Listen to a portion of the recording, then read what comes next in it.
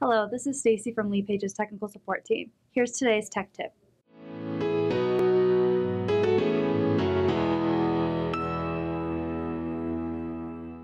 Today we'll be talking all about linking to your pages and page sections within your site. Throughout your site, you may want to have easy links to other pages or sections on your site. I'm going to show you how that is possible. To link to a page, simply hover over the widget you want to link. In this case, I'm going to use this widget. Click the pencil from there, click the hyperlink. You'll get a drop-down list of everything you can link to, but I'm going to link to a page.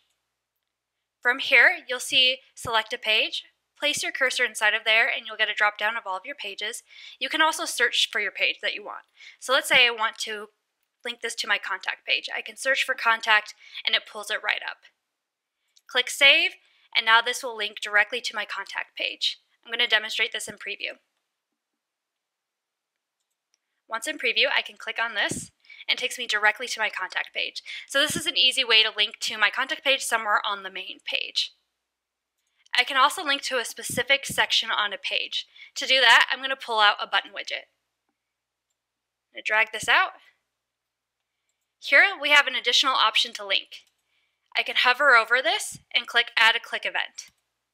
From there, I get that same menu, and then I can go to Link to a Page section. There I'll get that same select a page. In this case, I want to go to locations, but I want to go directly to the map. So in here, I can select a section, and the same thing goes as linking to a page. I can search through this to find the section I want. So I can go down, and I want to link to location 2. I'll hit save, and now it's connected.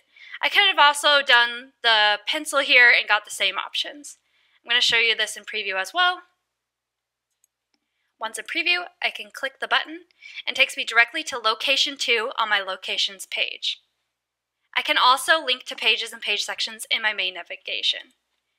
To do that, I'll click on pages in the left corner, click on this, on this plus sign, there I can go to link. Here I can create my link test, and I'm going to put test for my link text, and then I can select the page, so maybe I want to go to my testimonials this time. And then I can go to a, a particular section, so maybe directly to the testimonials.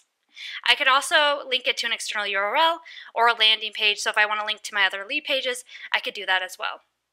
I'm going to click Save, and now this will link to my testimonials.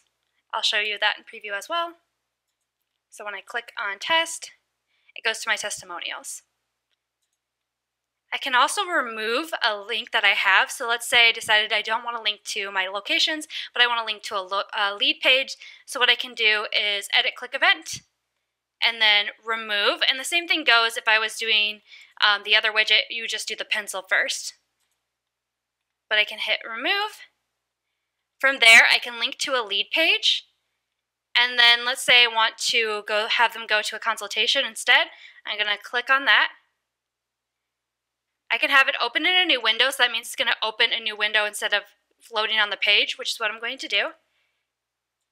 And then I'll show you in preview. Okay, so now when I click on this, it takes me into a new window to my consultation page.